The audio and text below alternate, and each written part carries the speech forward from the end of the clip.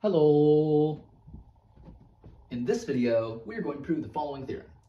Suppose A and B are finite sets such that the cardinality of A is equal to the cardinality of B. And let f be a function from A to B.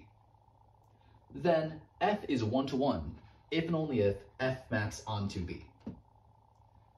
Now, we're trying to prove a statement containing if and only if. So what we're going to do is we're going to prove if this is true, then this is true, and then we're going to prove if this is true, then this is true.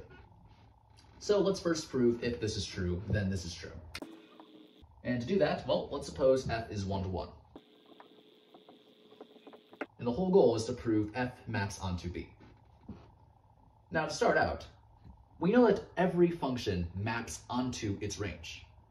So f must map onto the range of f. And what this means is, if we think of f as a function from A to the range of f, then f is a bijection between A and the range of f. The reason why it's a bijection is because, well, we know that f is one-to-one, but we also know that f is onto its range. So we have a bijection between A and the range of f. And since A is finite, this tells us that the range of f must also be finite. In fact, a and the range of f have equal cardinalities.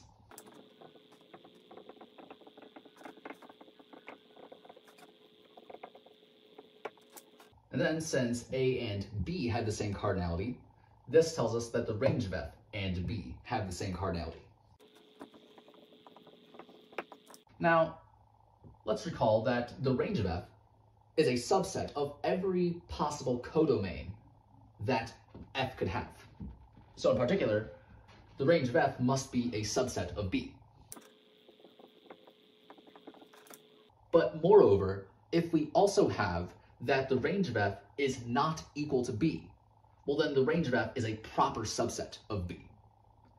And since the range of f and b are finite, that would tell us that the cardinality of the range of f is strictly less than the cardinality of B.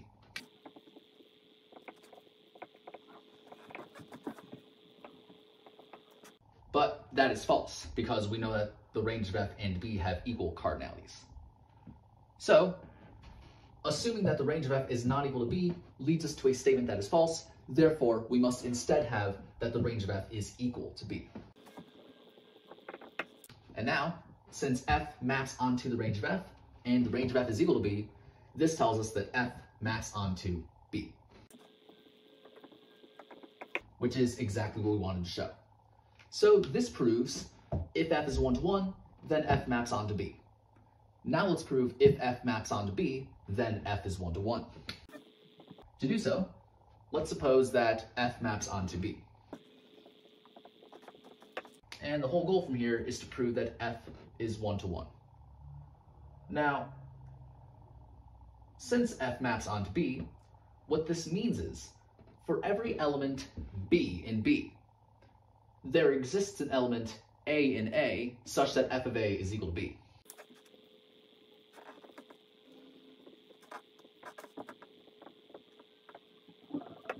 Right?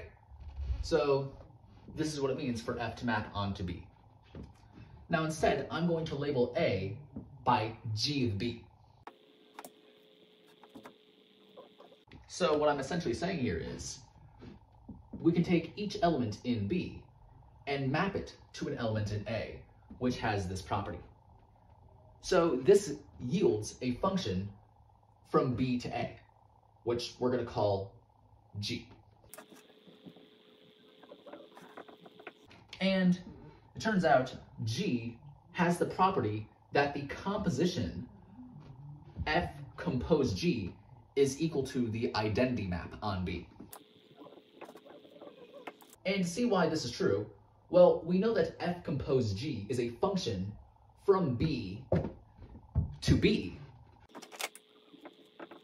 Also, the identity map on B is a function from B to B.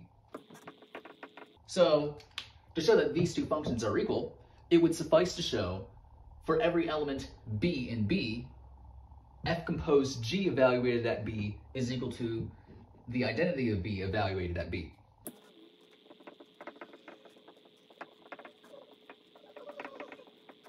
Right? And it's pretty easy to show that this is true. Because if we give ourselves an arbitrary element, B in B, and then by definition of G, we know that every element of B gets mapped to an element of A, which has this property.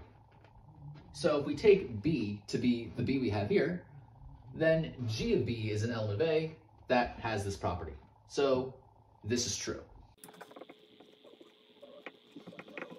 We know from the definition of a composition that f of g b is equal to f composed g, evaluated at b. Right? And then from the definition of the identity map, b is equal to the identity of b evaluated at b. And so, this shows that this is true. And so, we have shown given an arbitrary element of b and b, this is true. So for all b and b, this is true. And that shows that f composed g is equal to the identity map on b. So this is in fact true. But what can we do with this? Well,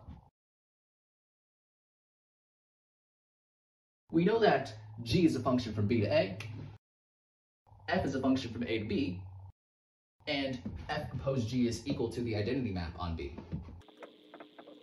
Turns out no matter what a, b, f, and g are, if these three things are true, then these three facts imply that G is one to one. Right? And I'll leave a video in the description which proves this property. Now notice, G is a function from a finite set to a finite set. And these finite sets have equal cardinality.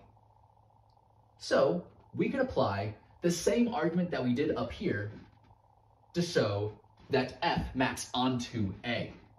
Right? It's the same thing that we did in the forward implication.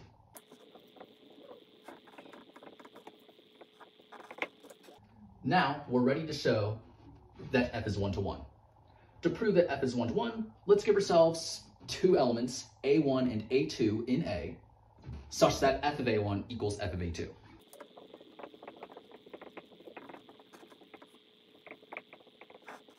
The whole goal is to prove A1 is equal to A2. Now, since G maps onto A, we know this means that for every element A in A, there exists an element B in B such that G of B is equal to A. So in particular, since A1 is an element of A, there exists an element B1 in B such that G of B1 is equal to A1. Similarly, since A2 is an element of A, there exists an element B2 in B such that g of b2 is equal to a2.